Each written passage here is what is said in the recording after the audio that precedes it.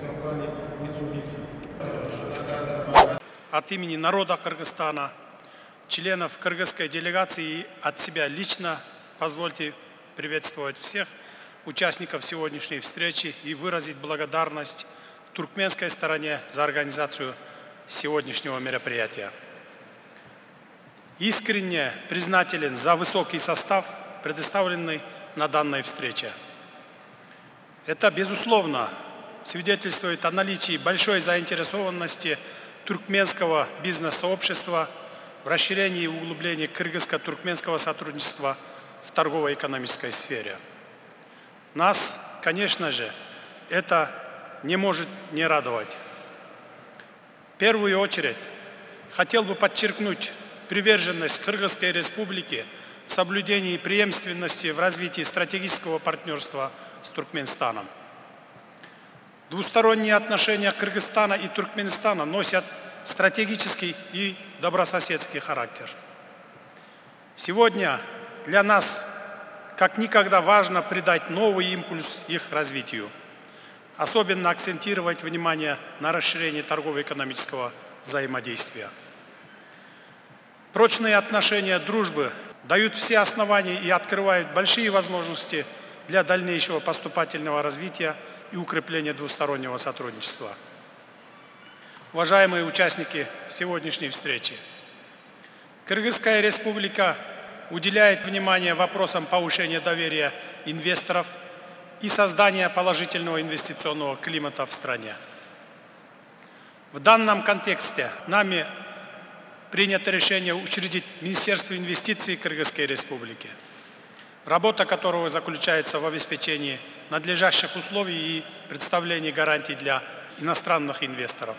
Хотелось бы подчеркнуть имеющуюся либеральную законодательную базу в отношении инвестиционной деятельности и защиты прав иностранных инвесторов, представляющую ряд преференций и стимулов в различных секторах экономики.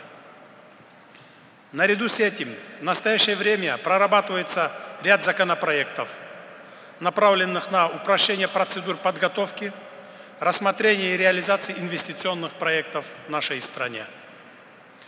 Кыргызская республика является получателем преференций ВСП+, которые в совокупности дают право осуществлять беспошлинный ввоз более 6 тысяч наименований товаров в страны Европейского Союза. Кроме того, членство Кыргызстана в Евразийском экономическом союзе открывает большие возможности по экспорту продукции на многомиллионный рынок государств-членов ЕАЭС на привилегированных условиях.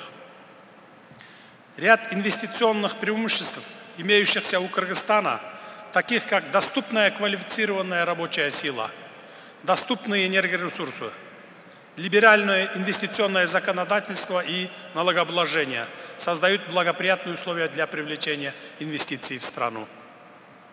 Дорогие друзья, для долгосрочного и взаимовыгодного сотрудничества между бизнес-кругами Кыргызстана и Туркменистана имеется множество различных направлений и возможностей. Мы заинтересованы в обмене опытом и привлечении на кыргызский рынок предприятий Туркменистана, работающих в нефтехимической, газовой промышленности, электроэнергетике, принимая во внимание темпы развития легкой промышленности в Кыргызской республике, считаю перспективным и приоритетным развитие взаимодействия в данном направлении.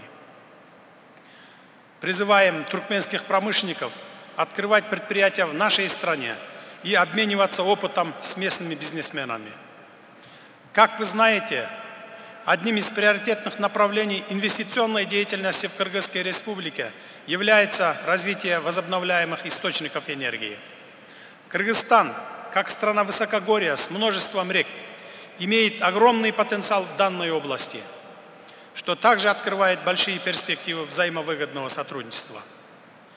Помимо этого, считаем важным акцентировать внимание на дальнейшем развитии туристического потенциала наших стран – Вопросы совместного взаимодействия в сфере и перерабатывающей промышленности, сельского хозяйства и инфраструктуры сегодня как никогда являются актуальными областями. Полагаю, также важным использовать имеющийся транспортно-транзитный потенциал наших стран. И в этом контексте видится перспективным создание совместной кыргызско-туркменской логистической компании, которая будет способствовать продвижению экспорта кыргызских и туркменских товаров на мировые рынки.